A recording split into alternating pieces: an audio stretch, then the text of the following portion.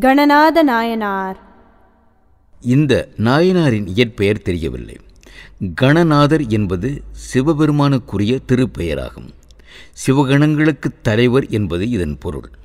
சிவ வழிபாட்டில் தன்னை முழுமையாக ஈடுபடுத்தி கொண்டதால் இவருக்கு இந்த பெயர் வழங்கலாயிற்று.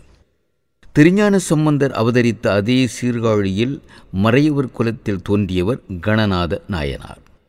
இவருடைய திருத்தொண்டு வேறு விதமாக இருந்தது. கோவில் தொண்டு செய்வோருக்கு இவர் தொண்டு செய்து வந்தார். அவர்களுக்கு உதவி செய்தார். மலர் தோட்டங்கள் அமைத்து அதை பேணி வருவோர் மலர்கள் பறிப்போர் மாலை தொடுப்போர் திருமஞ்சன நீரை கொண்டு வருவோர் திருமுறைகளை வாசிப்போர் என பல்வேறு பணிகளில் ஈடுபட்டு இருந்தோருக்கு இவர் உதவி தொண்டு செய்து வந்ததோடு அவர்களுக்கு ஏற்படும் குறைகளையும் உடன் நீக்குவார். மேலும் இத்தகைய தொண்டுகளில் மக்களை ஈடுபடுத்தி அவர்களை திருத்துண்டுகளில் ஈடுபடுமாறு ஊக்கம் தருவார். இல்லறத்தில் ஈடுபட்டு மனைவியோடு அன்பாக இருந்து கொண்டே திருத்துண்டு புரிந்து வந்தார். வாய்மையோடும் வாழ்ந்து வந்தார். இதற்கிடையே திருஞான சம்பந்தமூர்த்தி மீது மாறா அன்பு கொண்டு நாள்தோறும் அர்ச்சனை வழிபாடுகளும் செய்து வந்தார். மேலெழுந்த நிலையில் கணநாத நாயனாரின் தொண்டுகளை பார்த்தால் சிறப்பாக எதுவும் இல்லையே என்று எண்ணத் தோன்றும். ஆனால் ஆழ்ந்து சிந்தித்து பார்த்தால் அவர் செய்த தொண்டுகள் எத்தகையன என்பது விளங்கும். கோவில் பணியின் பல்வேறு நிலைகளில் பலர் ஈடுபட்டிருப்பார்கள்.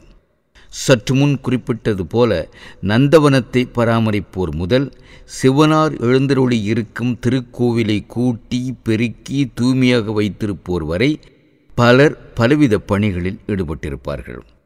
இவர்கள் தம் பணிகளுக்கு இவர் அவ்வப்போது உதவி செய்தார். அவர்களால் நோயின் காரணமாகவோ வேறு காரணங்களுக்காகவோ தங்கள் பணிகளை தொடர முடியாத போது இவர் அந்த பணியை தொடர்ந்தார். சிங்கப்பூர் மலேசியா ஏன் மற்ற நாடுகளில் கூட பெரும் விழா காலங்களில் தீமதி தைப்பூசம் சிவராத்திரி நவராத்திரி போன்ற காலங்களில் ஏராளமான தொண்டூழியர்கள் மக்களுக்கு கோயில் நிர்வாகத்தினருக்கும் தேவைப்படுவார்கள். இது ஆண்டுக்கு ஒரு முறையோ இருமுறையோ நடக்கலாம்.